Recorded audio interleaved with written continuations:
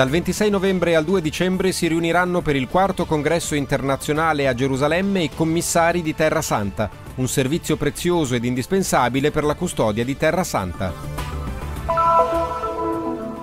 Vescovi e clero di Terra Santa insieme a centinaia di fedeli hanno partecipato alla messa di saluto e di ringraziamento per Sua Eccellenza Monsignor Bakuni presso la cattedrale greco-melchita di Haifa. Fratelli della Sal, uomini che per tre secoli hanno donato la vita a Dio per l'educazione umana e cristiana dei bambini e dei giovani. Il 17 novembre scorso, religiosi, laici, volontari e collaboratori della custodia di Terra Santa si sono riuniti per un corso formativo. Nello speciale I sensi della Terra Santa intraprenderemo un'avventura per esplorare la Terra Santa attraverso i cinque sensi e toccare i luoghi. Nel primo servizio, i bei paesaggi della Terra Santa che riempiono gli occhi nel corpo e nell'anima.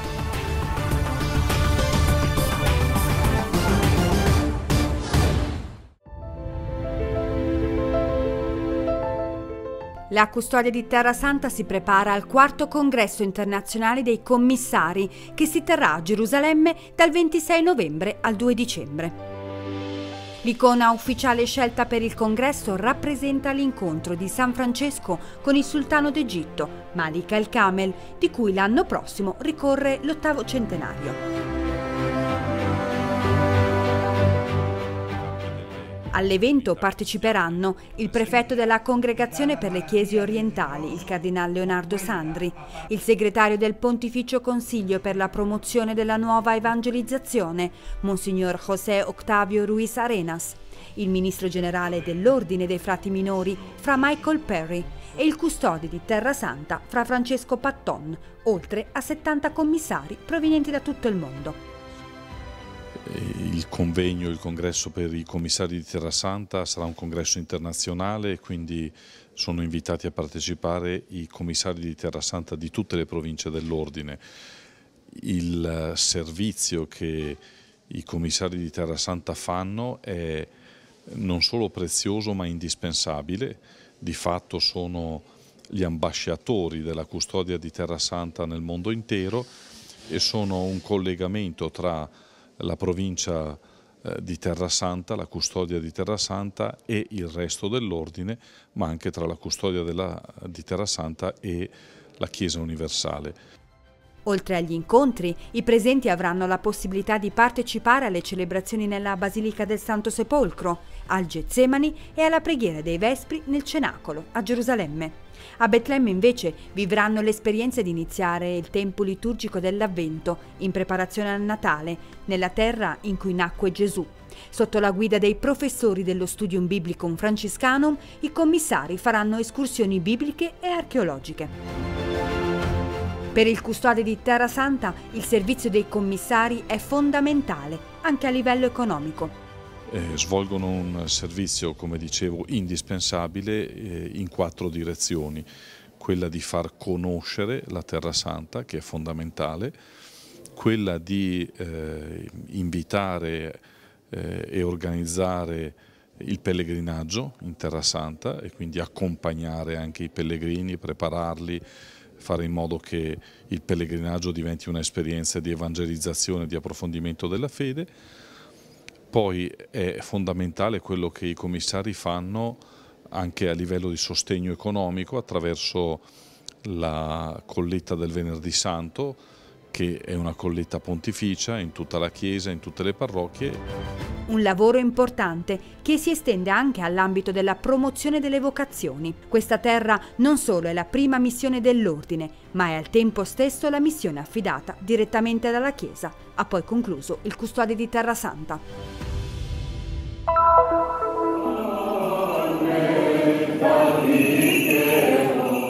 18 novembre presso la cattedrale greco-melchita di Sant'Elia si è tenuta una messa di saluto e di ringraziamento per Sua Eccellenza Monsignor George Bakuni, eletto alla sede metropolita di Beirut. Alla celebrazione hanno partecipato il patriarca emerito, Sua Eccellenza Monsignor Michel Sabbat, il nunzio apostolico in Israele e delegato apostolico per Gerusalemme e la Palestina, Sua Eccellenza Monsignor Leopoldo Girelli, il custode di Terra Santa, Fra Francesco Patton, gli arcivescovi emeriti greco-cattolici di Acri, Monsignor Butrus Muallem e Monsignor Elias Shahur, oltre che a numerosi sacerdoti e fedeli locali. Nella sua omelia, Monsignor Baccuni ha voluto ricordare i primi giorni della sua ordinazione episcopale, sottolineando come 13 anni fa, per la mia ordinazione episcopale, ho indossato la veste su cui è disegnata una pecora a simboleggiare quella perduta e mi è stato detto tu sei un pastore e devi cercare la pecora smarrita e questo è ciò che ho faticato a raggiungere. Ha poi continuato esprimendo il suo più profondo ringraziamento a tutti. Ho sperimentato il vostro amore e l'abbondanza dei vostri cuori e vi ringrazio con tutto il mio cuore. Quando sarò in Libano e chiamerò qui ad Haifa, mi verrà da piangere. Vi voglio bene e conosco ciascuno di voi.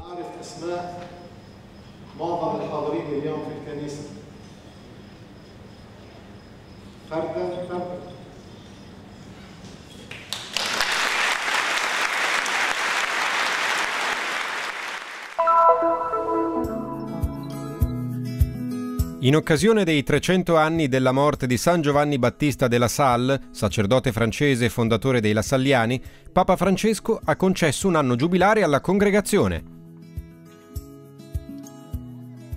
L'eredità di questo santo, l'Istituto dei Fratelli delle Scuole Cristiane, si è diffuso e oggi è presente in più di 80 paesi. Chi amministra tutto questo sono i fratelli della Salle, uomini che si consacrano totalmente a Dio, facendo voti di povertà, castità e obbedienza.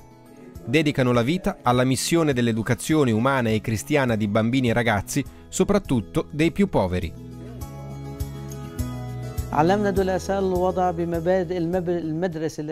San Giovanni della Salle ci ha trasmesso i seguenti valori: fede, servizio e fratellanza.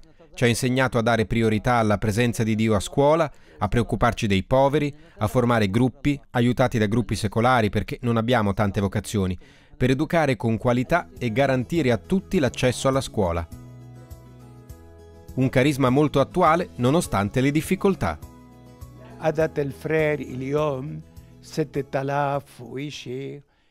Il numero dei fratelli lassalliani è superiore a 6.000, ma in passato eravamo circa 20.000 lo spirito cristiano oggi non è come lo è stato in passato. Nella società prevale la natura materialista e cambiamenti intellettuali dominano gli interessi dei giovani. Molto lavoro, ma anche molte prodezze. Offrire la vita per questa causa è un'autentica vocazione. This is my 14th year. Uh, I joked that I, I came for three years. I made a three-year commitment. Questo è il mio quattordicesimo anno in Terra Santa. Dico scherzando che sono venuto per restare tre anni, ho preso un impegno per tre anni, ma questo è già il mio quattordicesimo anno. Mi piace stare qui, mi piace davvero lavorare con i giovani palestinesi che serviamo all'università. Prendiamo il nome di fratello proprio perché siamo chiamati a essere fratelli dei giovani che serviamo, fratelli per coloro con cui lavoriamo. Quindi questa è la nostra vocazione. Uh, older brothers to the young people that we serve, and uh, brothers to our colleagues, you know, to one another and to our colleagues. So, really, that's the vocation. Fratel Peter ha sottolineato inoltre che la vocazione dei fratelli lassalliani comprende aiutare i giovani a incontrarsi, a comprendersi, a riconoscere i doni e i talenti che Dio ha dato loro e a metterli a servizio degli altri.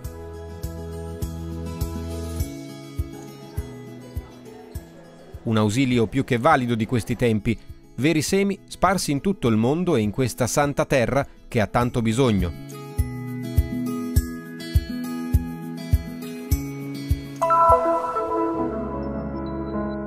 Tutto ebbe inizio con Francesco, che 800 anni fa visitò la Terra Santa e desiderò, anche personalmente, prendersi cura dei luoghi in cui Gesù Cristo aveva vissuto la sua vita terrena. Sin da allora istituì la provincia d'Oltremare, la Custodia, che opera ancora oggi, affiancando ai frati minori, religiosi e religiose di altre congregazioni, collaboratori e volontari che cooperano nei santuari, nelle scuole, nelle biblioteche, nei musei e in tutti gli altri settori della missione che si sono sviluppati nel corso degli anni. Perché il servizio possa essere svolto con frutto è necessario conoscere questa storia pluricentenaria. Per questo è stato promosso il corso di formazione per collaboratori della custodia di Terra Santa. Conoscere per poter amare e per poter servire.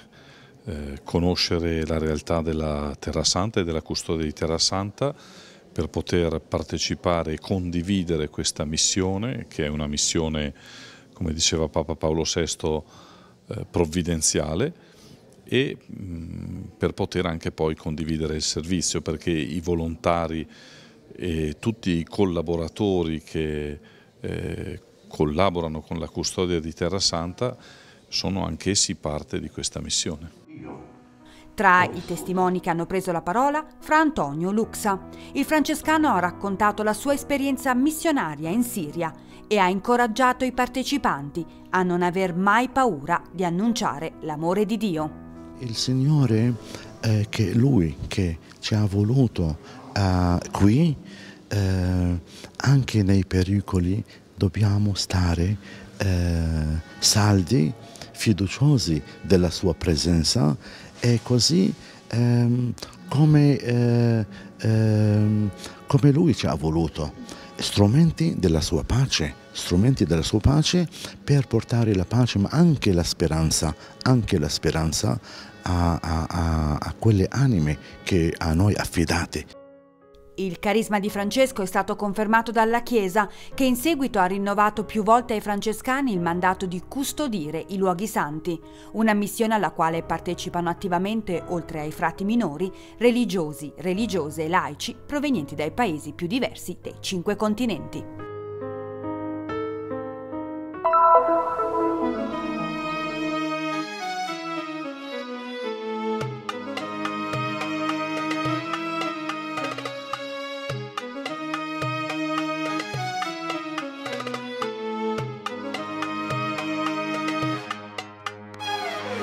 Iniziamo questa avventura per esplorare la Terra Santa attraverso i nostri cinque sensi. Cominciamo qui, dal deserto della Giudea, un paesaggio arido, secco, che ci viene in mente quando pensiamo al Medio Oriente, alla Terra Santa. Ciononostante, scopriremo i colori, la diversità di questa terra che lascia segni nella nostra storia e nel nostro cuore.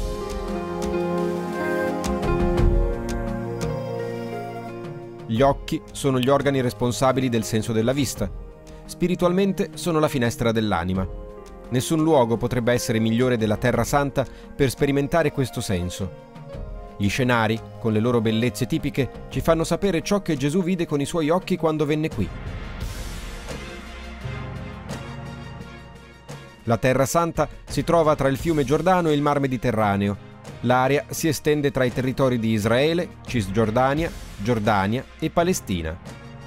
Molti degli eventi della storia del popolo ebreo e del cristianesimo avvennero in regioni situate in Israele, che ha un'area totale di 27.800 km.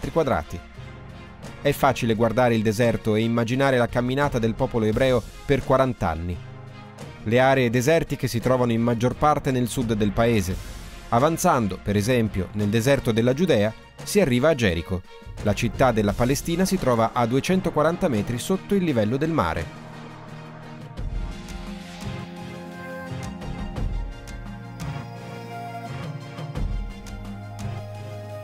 Bagnato dal mar Mediterraneo, Israele fa brillare gli occhi davanti alla bellezza delle spiagge di Haifa, Tel Aviv, il più grande centro economico del paese, e Jaffa. In quest'ultima sono avvenuti vari eventi biblici, anche della vita di Pietro. Racconti della vita dell'Apostolo sono ricordati nella chiesa di San Pietro e nella città vecchia di Giaffa, che ha un porto marittimo considerato il più antico del mondo. Qui fu sbarcato il legname del cedro del Libano usato nella costruzione del Tempio all'epoca di Salomone e Zorobabel. A nord nascono le montagne, come le catene del Monte Carmelo. I torrenti che accompagnano la cordigliera mantengono la regione verde per quasi tutto l'anno. Tra le montagne della Galilea e della Samaria, la valle di Jezrael, la regione più agricola di Israele. La vista che si ha dal Monte del Precipizio a Nazareth, dalla storica città di Megiddo o dal Monte Tabor, attesta questa fertilità. L'agricoltura in Israele è uno degli aspetti economici più sviluppati. Nonostante più della metà del paese sia desertico, il sistema di irrigazione è uno dei più avanzati del mondo. È bello per noi stare qui, affermò Pietro durante l'evento della trasfigurazione di Gesù.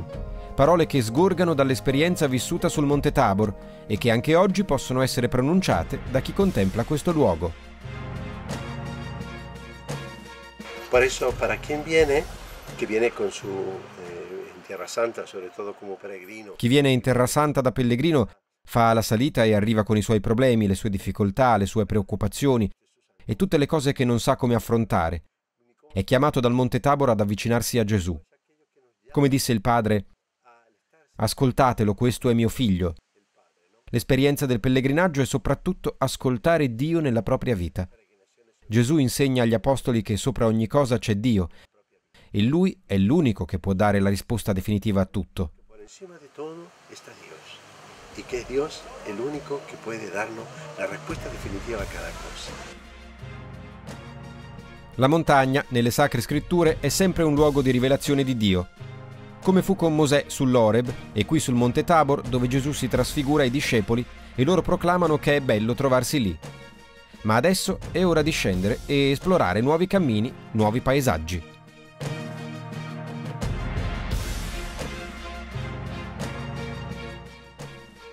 Gerusalemme, la città icona della Terra Santa, dove si intravede la sfilata delle diversità tra le strade della città vecchia. Dal Monte degli Ulivi, la sontuosa cupola dorata del Duomo della Roccia, il luogo più importante per i musulmani.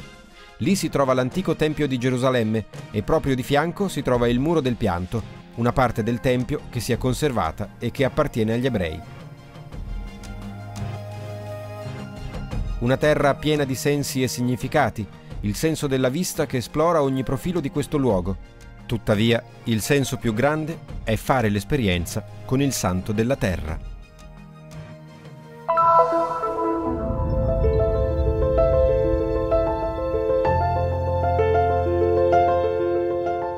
Nel quarto convegno internazionale, i commissari di Terra Santa si riuniranno a Gerusalemme, perla delle missioni, dal 26 novembre al 2 dicembre. Un programma intenso per parlare della pastorale del pellegrinaggio. Seguiteci in diretta tutti i giorni sul nostro sito.